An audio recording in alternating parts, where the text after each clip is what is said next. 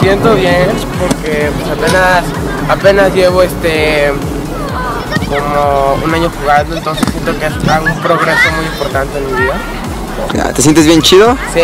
Sale. Ahí vemos a nuestro amigo Nico que estamos grabando y se acerca a interrumpir. Este, manda saludos a alguien. Mando saludos a mi a mi a, pues, a mi familia, a, a mi novia, ¿A quién? Alice, mi novia, a mi mamá, a mi papá, que me han apoyado mucho, y pues a mis amigos aquí en Chivas, porque sin ellos siento que no puedo ser mejor. Eso es todo. Gracias.